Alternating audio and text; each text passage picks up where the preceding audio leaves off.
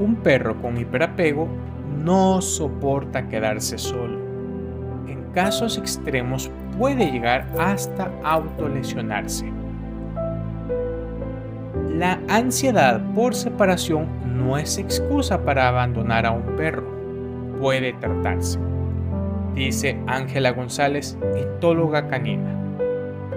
El hiperapego en perros es un trastorno conductual frecuente según afirma la tesis Caracterización clínica y conductual de perros diagnosticados con síndrome de ansiedad por separación.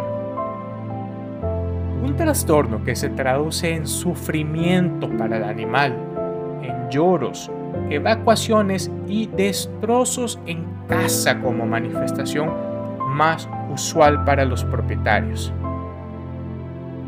El hiperapego también es considerado por los expertos como ansiedad por separación canina, ASC. En el artículo Síndrome de ansiedad por separación se exponen algunas de las circunstancias más habituales por las que esta ansiedad puede aparecer en ciertos perros y no en otros. La primera de las razones puede ser que un perro se haya acostumbrado a la presencia humana constante en casa.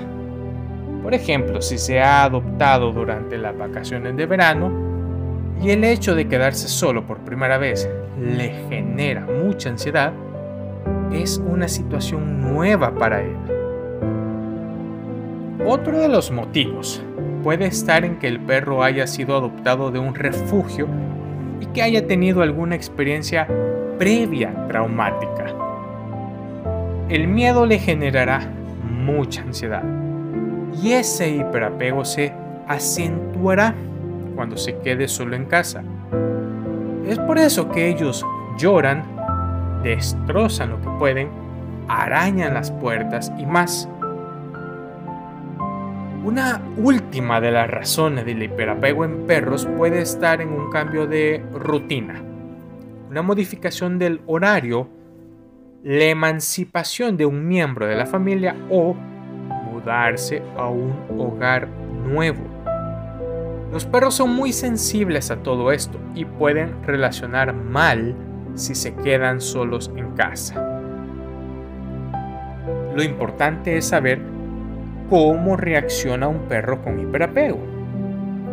Cuando un perro manifiesta hiperapego, es normal que reciba a su dueño de una manera muy efusiva, como si no los hubieran visto en mucho tiempo.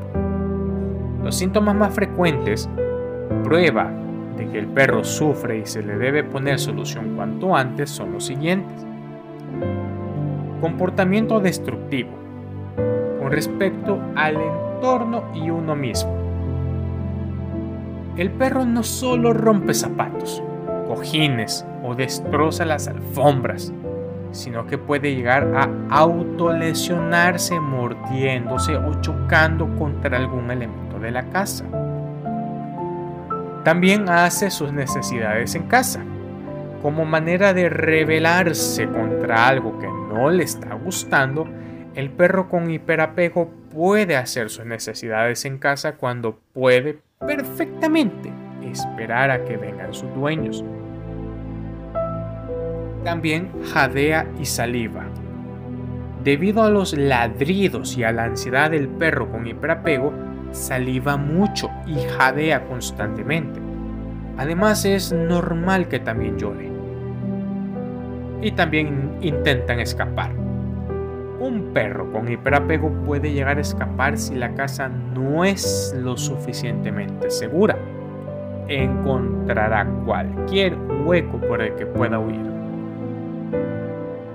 Para evitar que la conducta persista en el tiempo, es importante aumentar el ejercicio físico, las sesiones de juego, no prestarle atención si está excesivamente nervioso y hacer varias salidas pequeñas al día para que se acostumbre.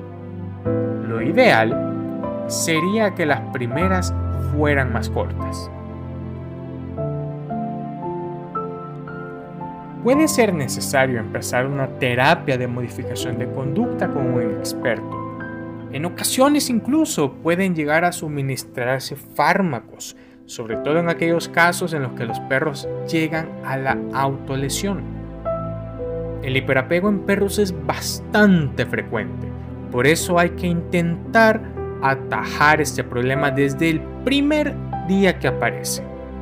En caso contrario, puede llegar a no resolverse nunca y es peligroso, pues los perros pueden hacerse daño.